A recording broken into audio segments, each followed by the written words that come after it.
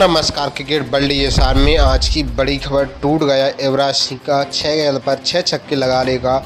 world record भारतीय team के पूर्व ऑलराउंडर खिलाड़ी युवराज सिंह के नाम टी ट्वेंटी वर्ल्ड कप में छः गेंद पर छः छक्के लगाने का वर्ल्ड रिकॉर्ड था लेकिन इस समय अफगानिस्तान में चल रही काबुल प्रीमियर लीग में अफगानिस्तान क्रिकेट टीम के इक्कीस साल के